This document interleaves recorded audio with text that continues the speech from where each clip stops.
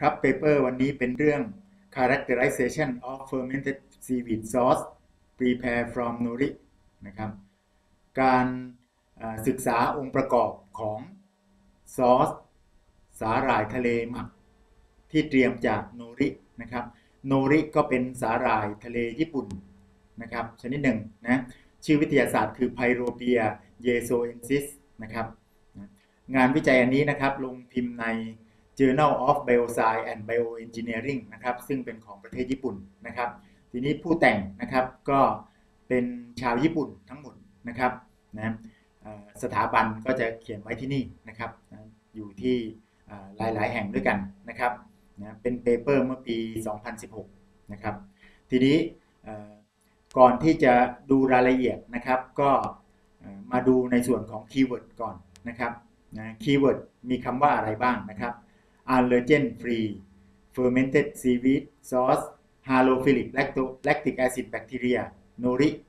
pyropia yezoensis นะครับ ทีนี้เพื่อให้นิสิตนะครับอ่าน paper ได้รวดเร็วขึ้น แล้วก็จับประเด็นได้นะครับนะผมก็ทำ checklist นะครับนะคืออันนี้นะใส่ไว้ให้นะครับ อันนี้นิสิตไม่ไม่ต้องทำมาส่งนะครับนะแค่ ไว้เป็นเช็คว่าเราเอออ่านบทความได้ครบหรือยังนะครับนะได้จับประเด็นสำคัญได้มากน้อยแค่ไหนนะเป็นการฝึกอ่าน paper ทางด้านชีวเคมีประยุกต์ไปในตัวนะครับ ทีนี้มาลองดูเล่น ๆ สัก2อสข้อก่อน แล้วเดี๋ยวเราก็ไปค้นหาคำตอบใน paper กันนะครับนะข้อ1นนะครับผู้แต่งหลักของบทความนี้ทำงานอยู่ที่เมืองจุดๆประเทศจุดๆนะครับคำว่าผู้แต่งหลักนะครับ เวลาพูดถึงผู้แต่งหลักเนี่ยก็คือผู้แต่ง นะครับ ผู้แต่งชื่อแรก หรือว่าผู้แต่งที่มีเครื่องหมายดอกจัน เพื่อระบุว่าเป็น corresponding author เป็นผู้แต่งที่เราสามารถจะติดต่อนะครับ เพื่อพูดคุยเพื่อปรึกษาเพื่อขอวัสดุในการทดลองอะไรต่างๆ ได้นะเรียกว่า corresponding author corresponding แปลว่าโต้ตอบกันนะครับ ส่งอีเมลไปที่นี่ได้นะครับ ทีนี้ เขาถามว่าผู้แต่งหลักนะครับ อยู่ที่เมืองอะไรประเทศอะไรใช่ไหมครับ เราก็ดูซิโมโตฮารุอุชิดะนะครับ เลข 1 1 ก็คือก็ดูข้างล่างนี้นะครับนะไล่ๆดูนะครับฮิโรชิมานะครับ Hiroshima Japan นะครับก็นิสิตก็ตอบไปอยู่ที่เมืองฮิโรชิมาประเทศญี่ปุ่นนะข้อ 2 แปล keyword ของบทความนี้ 4คำเป็นภาษาไทยนะครับ ก็ 1 2 3 4นะครับมีอะไรมั่งนะกลับไปดูนะครับ keyword นะ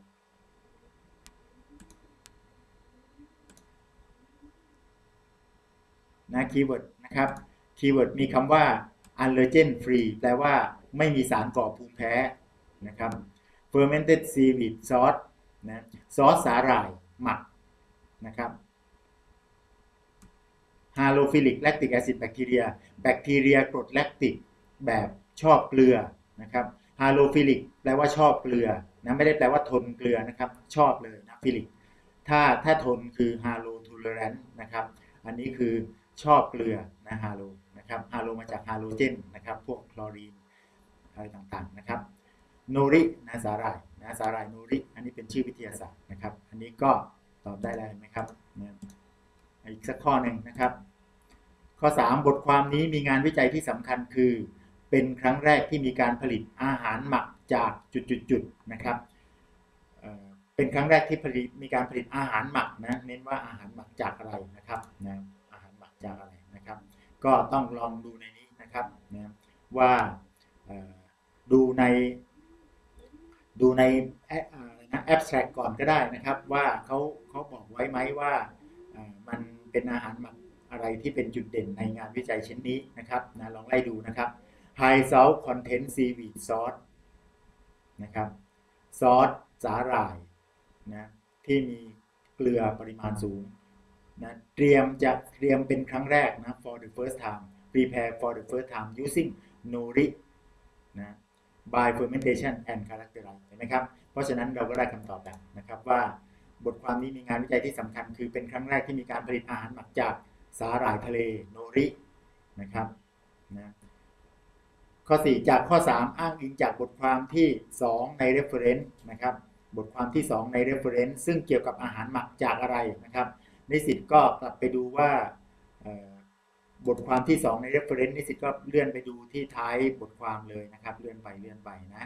นะครับ บทความที่ 2 นะครับ 2 cultural aspect of fermented fish product in Asia นะครับ fish fermentation technology นะครับ เป็นการหมักปลาทำน้ำปลาใช่ไหมครับนะก็กลับไปตอบนะครับ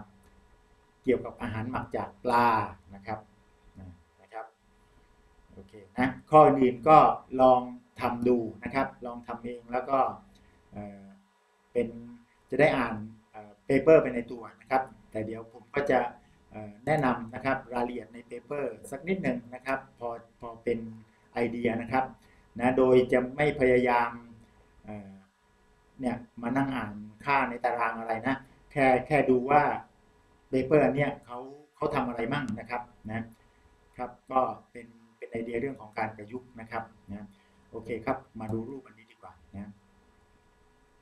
รูปนี้รูปนี้นะครับ รูปนี้เป็น figure one นะครับนะรูปนี้เนี่ยรูปมีข้อดีกว่าอ่าน paper ก็คือว่าบางทีนิสิตเสียเวลานั่งแปลเนี่ยครึ่งวันเนี่ยบางทีดูรูปแค่ 5 นาทีก็เข้าใจว่าเขาทำอะไรนะครับนะมาดูกันนะครับนะ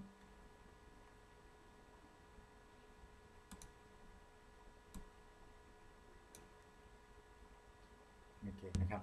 รายละเอียดตัวย่ออะไรยังไม่ต้องดูก็ได้นะครับนะถ้าสนใจเข้าไปดูในรายละเอียดนะครับ ดูว่าเขาทาอะไรนะครับ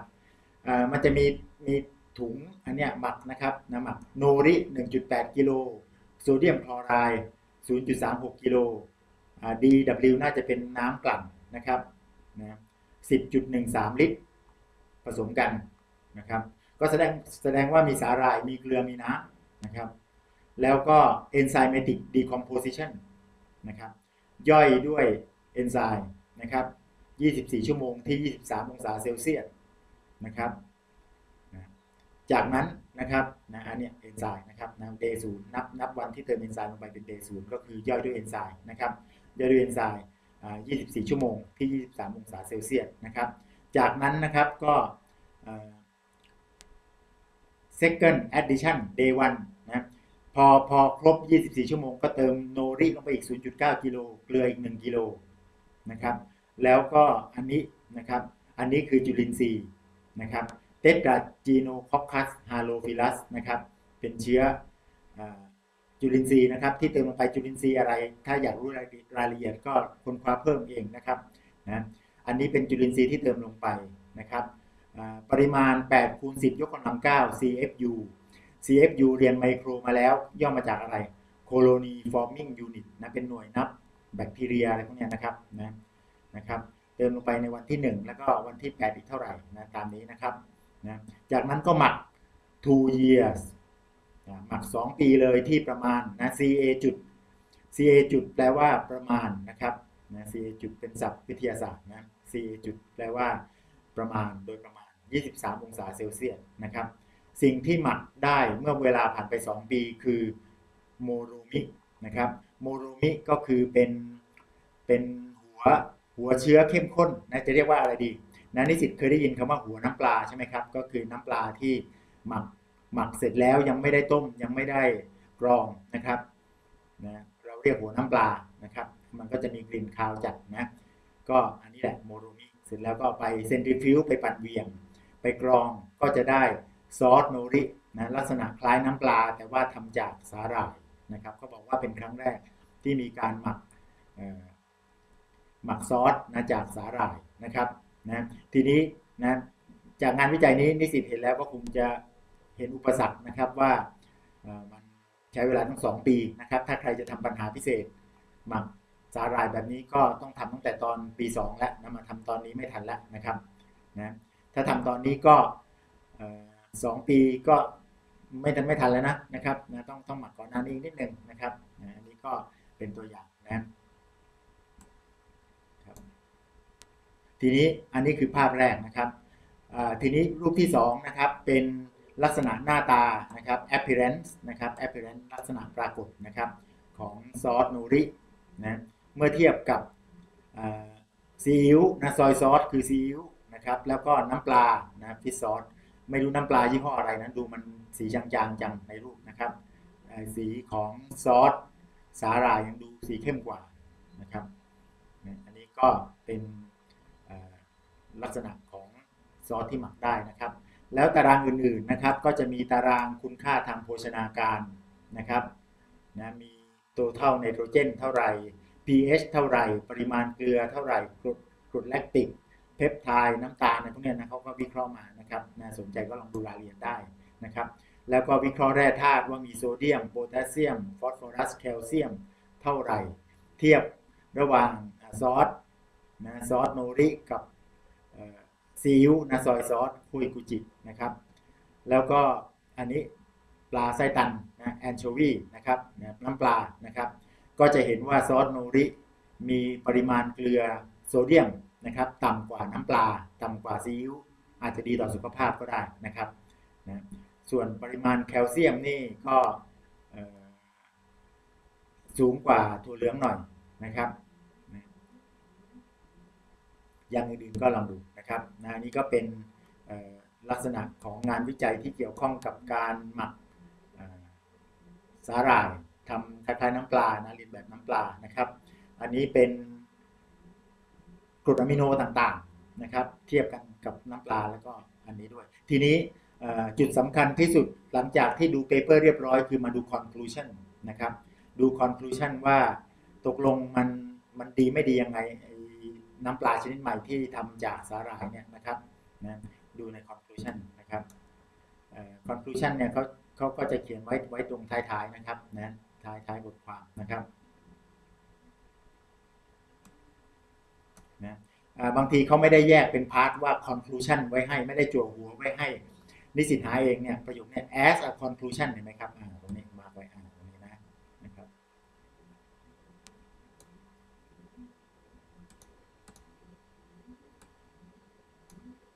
as a conclusion นะสรุปว่า the present study clarify the unique components food function and food safety evidence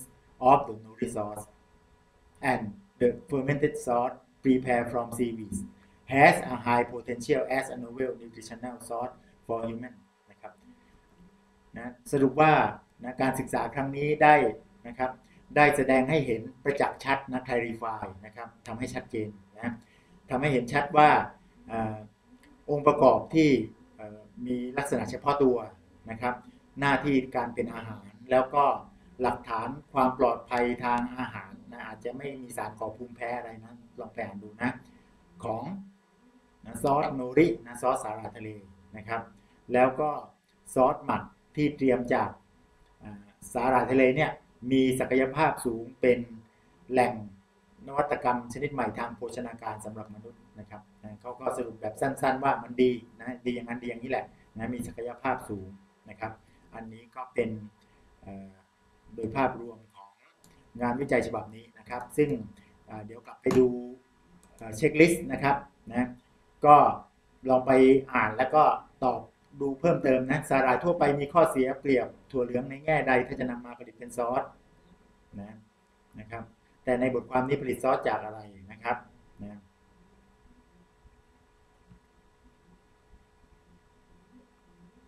ใช้เอนไซม์อะไรเพื่อย่อยสาหร่ายนะแต่บทความนี้ใช้เอนไซม์อะไรนะครับนะก็ต้องอ่านดูในในในอุปกรณ์วิธีการนะครับ ใช้เวลาหมักนานเท่าไหร่ 2 ปีใช่ไหมนะครับนะแล้วก็ปริมาณของแข็งละลายน้ำได้ใช้วิธีอะไรในการวัดอยู่ในอุปกรณ์และวิธีการนะครับ ก็ลองไปทำดูเล่นๆนะครับ ถ้ามีเวลานะ นะครับ คือต้องการคือคือคำตอบถูกผิดไม่เป็นไรต้องการให้นิสิตเคยชินในการอ่าน paper นะครับอย่าไปกลัว paper นะครับค่อยๆค่อยๆดูไปนะครับเนี่ยซีโนริมาจากจังหวัดใดของญี่ปุ่นอ่านเดี๋ยวก็หาเจอนะครับ อันนี้เป็นลักษณะที่เวลานิสิตทำสัมมนานะครับทำ presentation เนี่ยpaper ต่างๆนิสิตลองตั้งคำถามขึ้นมานะครับ ถามตอบในเรื่องที่เกี่ยวกับ paper ของเรานะครับ ก็จะเอ่อทำให้เรามีความมั่นใจมากขึ้นเวลาเรา present สัมมนานะครับ present วิชาต่างๆนะครับ ก็ลองเดาทางดูว่ากรรมการอาจารย์จะถามว่าอะไรแบบนี้แหละนะครับนะสำหรับ paper นี้ก็ไว้เท่านี้นะครับ สวัสดีครับ